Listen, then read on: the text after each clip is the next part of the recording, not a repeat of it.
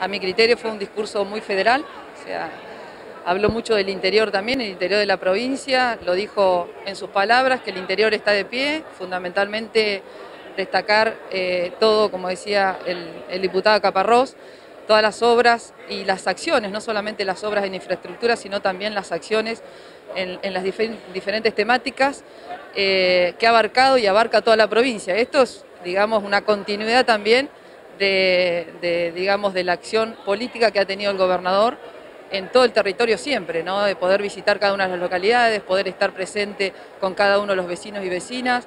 En el contexto de pandemia, en forma digital, estuvo presente continuamente con cada uno de los intendentes e intendentas, con los consejos deliberantes.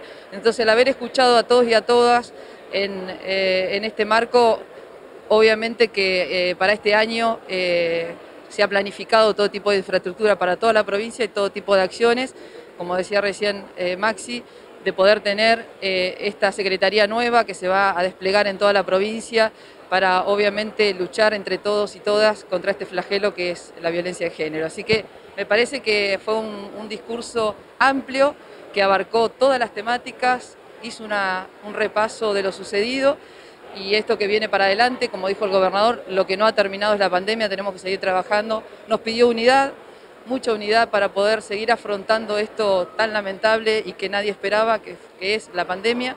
Así que creo que es, ha sido también un, discurso muy conciliador y de trabajar todos unidos para adelante.